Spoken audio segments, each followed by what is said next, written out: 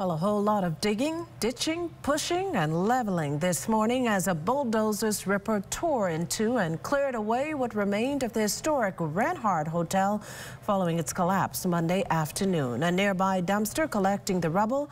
Also on the scene, BPL workers in bucket trucks. Designed and constructed by Dr. C.R. Walker and his wife in the 1930s, the Tin Shop Corner Hotel was once the prized venue for weddings, parties, and other gatherings for blacks.